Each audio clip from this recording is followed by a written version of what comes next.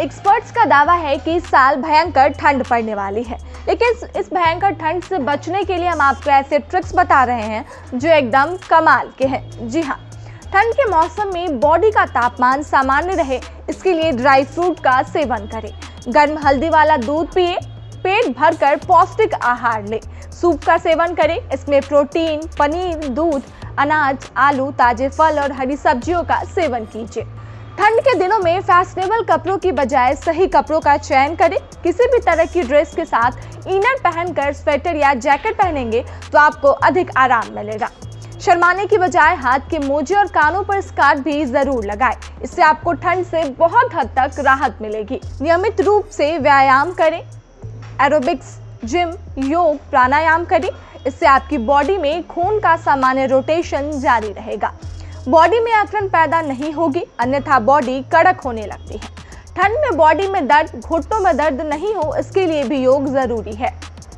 नमस्कार, स्वागत है आप सभी का हमारा भारत में और आपके साथ मैं हूँ तनु। अभी तक आपने इस वीडियो को लाइक नहीं किया तो इस वीडियो को ज़रूर लाइक कीजिए, क्योंकि वीडियो आपके काफ़ी काम की होने वाली है।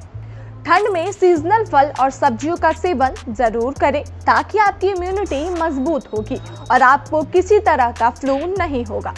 एक्सपर्ट्स अक्सर सलाह देते हैं कि बदलते मौसम में सीजनल फ़ूड का सेवन ज़रूर करना चाहिए।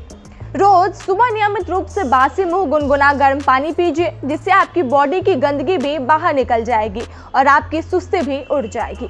सर्दी के दिनों में भी पैदल घूमने की आदत नहीं छोड़े। इससे आपका रक्त संचार अच्छा रहेगा। अगर आपके अपार्टमेंट में लिफ्ट है तो भी सीढ़ियों का प्रयोग करें।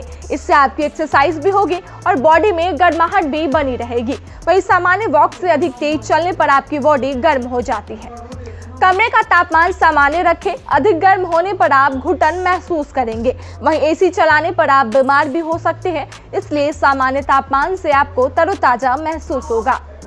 ठंड के दिनों में कान, हाथ और पैरों को भी अच्छे से ढक कर रखें, क्योंकि पैर ढके होने और कानों में हवा जाने अधिक ठंड लगती है। ऐसी तरीन ताज़ा खबरों को देखने के लिए आप जुड़े रहे हमारा भारत के साथ।